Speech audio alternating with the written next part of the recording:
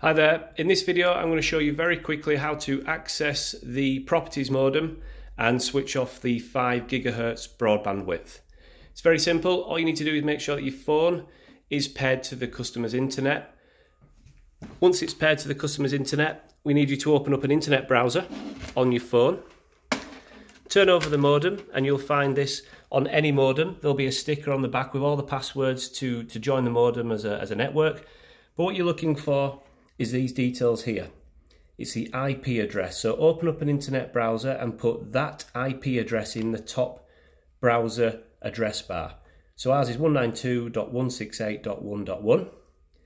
Once you do that, it'll ask you for a username and password. Ours is admin and admin. It may be different on different models of routers or different uh, providers. So what I'm going to do now is I'm going to show you now what that looks like on the computer.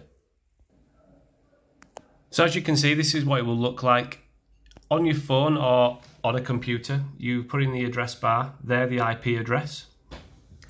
It'll come up with a window asking for the username and password. Sometimes they'll let you in straight away, uh, but it will prompt for the password if you make any changes. So I'm just going to put in our password now and then log in.